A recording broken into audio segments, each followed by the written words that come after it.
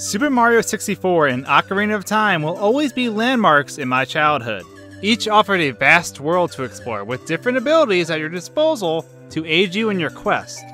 Seeing as Ocarina of Time was built with a heavily tweaked version of the Super Mario 64 engine, perhaps it's more than nostalgia that makes them seem to go hand in hand with each other.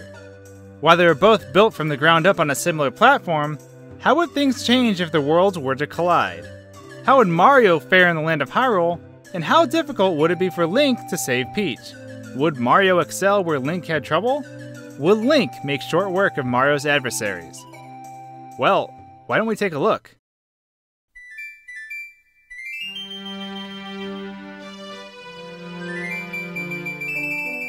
With Mario's extreme athletic ability and his cartoon physics on his side, navigating the land of Hyrule wouldn't be too difficult at all. In fact, he could skip a lot of obstacles in the game. With his jumping abilities, things would be a breeze. Link would definitely have a bit of trouble with some jumps in Super Mario 64. Without a Cucco to aid him in distance, he would probably often fall short on some longer jumps. Although the hover boots would definitely lend a helping hand. The hookshot, assuming it's still latched onto grippable objects, would be another defining factor in Link's quest.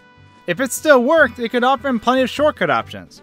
Hypothetically, if you can hookshot items like gold Skulltula tokens, then you could probably use a hookshot to grab a star too.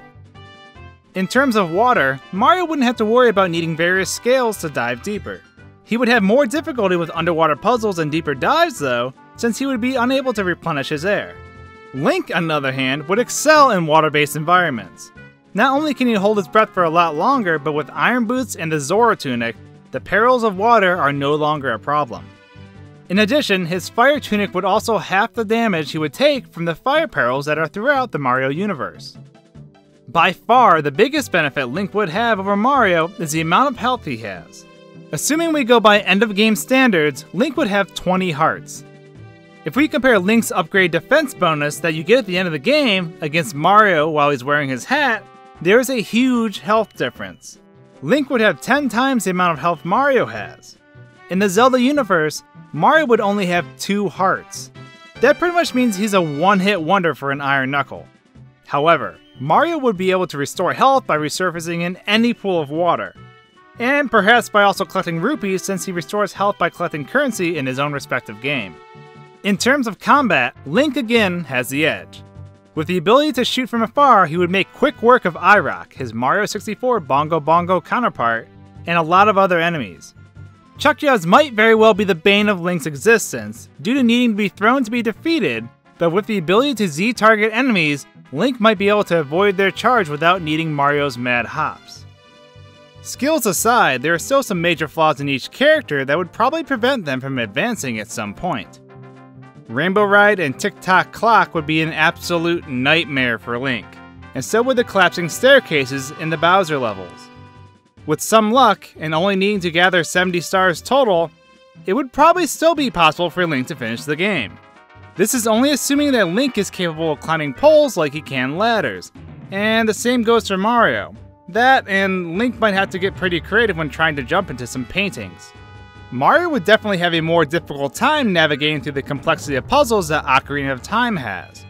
If he could utilize any equipment acquired in the game, then he could surely finish it and slay Ganon. However, with his basic skill set, he would get hung up on many puzzles. For example, without the ability to create fire, which Mario can normally do, but not in Super Mario 64, Mario would not be able to solve the torch puzzles that are typically needed to open doors. This puts Mario in a pinch in several places, and that's not even factoring in all the uses that Ocarina has in the game. With that said, although the environments in Super Mario 64 would be brutal for Link to traverse, he would still have a chance of finishing his quest and saving Peach. Mario, on the other hand, depending on what tools he is capable of using, may not be able to save Zelda after all. Hyrule becomes flooded, there are now trains everywhere, and the Hero Shade now teaches you how to U-turn flip. Because that's how the Zelda timeline works, right? Kidding aside, what are your thoughts on this game swap? Can you recall any moments where each hero would excel or struggle? Will Link pull out all his hair in frustration due to these insane jumps?